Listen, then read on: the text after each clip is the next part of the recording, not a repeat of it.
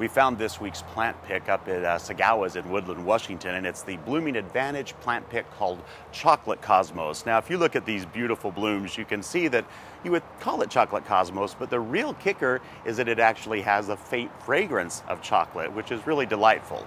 Now, this plant really needs excellent drainage in your garden, so if you don't have that, certainly put it in a container and use it in there because they're beautiful in a hanging basket or in a combo pot. They do like the sun, they'll take a little afternoon shade, but really do prefer the sun and get about 12 to 18 inches high.